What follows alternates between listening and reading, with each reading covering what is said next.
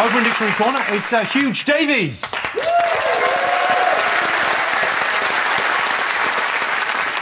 Huge Davies is Indonesian Welsh.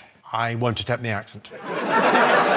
now, it's your first time on the show. Could you, could you tell us a little bit about yourself? I'm Huge Davies, and I have a very close relationship with my father. So I thought the best way to just to demonstrate that would be to play a little song uh, about me and my father. So here we go. Um, Walking down the street with my dad, he holds my hand, I look up. It's not my dad, it's just a random man. He puts me in a van.